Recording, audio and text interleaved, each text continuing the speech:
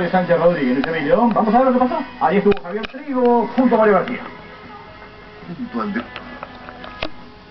Auspicia este bloque Banco San Juan junto al deporte.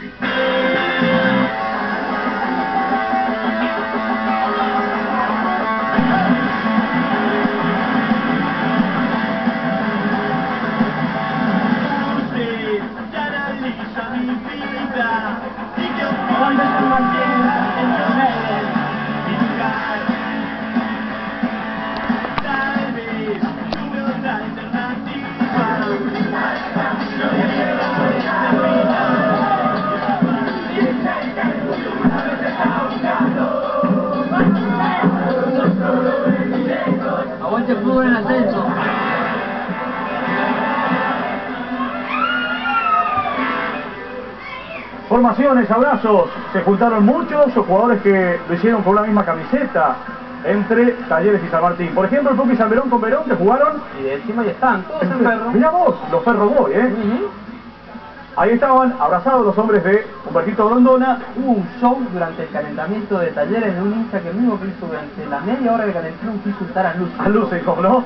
El ingreso de Talleres al campo de juego, un grande que tiene el interior de, el país, un grande de la categoría y también del fútbol argentino, este Talleres de Córdoba. Mi señor, eh, que recordemos está peleando por no descender, ¿eh? Eh, Talleres ha venido de muy malas campañas. eh, el año pasado zafó en la promoción con Racing de Córdoba y ahora tiene que estar arriba si no es que quiere penar con el descenso nuevamente. El saludo de los protagonistas antes de que la pelota se ponga en movimiento. Tavio, Cristian Tavio debutaba con la camiseta de San Martín eh, en el Hilario Sánchez Rodríguez.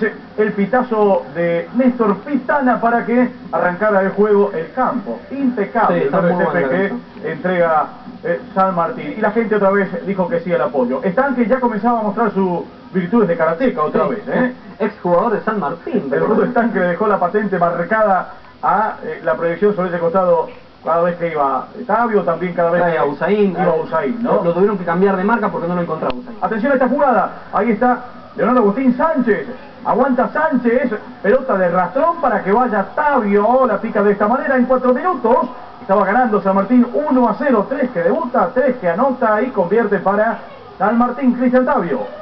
El que le pegaba era Ceballos, fueron compañeros en Banfield. eh, después, en la nota que publicó Diario de Cuyo, Ceballos dijo, eh, Batavio dijo definir a los Ceballos. Vemos otra vez la repetición, la gran jugada de Sánchez. Esto es la transmisión que se generaba el día del partido. Recordemos que el partido fue televisado. Gran pase de Sánchez, que para mí fue la figura de la cancha, para Tavio, que definió muy bien, eh, picándole la pelota por sobre el cuerpo de Brasca en cuatro minutos. Ese es Claudio, el hermano de Darío Usain, que estuvo en la cancha. Eh, el festejo de Tavio, eh, debutaba cuatro minutos con la camiseta de San Martín y hacía el gol. ¿eh? Eh, yo quería destacar la buena gestión de Sánchez que se metió, recibió la pelota por el centro del campo y terminó definiendo. Vamos a ver otra vez la jugada. Ese es el pase Sánchez que se vistió de 10 y Tavio se vistió de 9. Dos defensores fueron los que armaron la jugada para que San Martín se ponga en ventaja otra vez. A Sánchez lo dejaron demasiado solo, levantó la cabecita, le puso el pase entre los centrales, apareció Tavio, que de derecha lo vio venir a Brasca, lo esperó, terminó definiendo por encima del arquero. El festejo del jugador debutante, San Martín se ponía 1-0. Y un taller de Córdoba que con poco, pero iba a ir a buscar con un Covelli, con Qué gordo está Covelli. eh, Cermatene, Covelli, te digo que está para jugar Está para el equipo del fútbol en ascenso. Sí, sí, tranquilamente puede jugar para nosotros. Eh, y ahí está Seri, que es eh, el hombre que corre, el que está en cada uno de los sectores del, Sí. del campo de juego, mostrando por aquí, por allá. Está, están cuando no podía parar y que Lucenco ponían la piernita de manera muy dura. Pelota que iba a quedar a Rojas, tratando de habilitar y buscar el juego.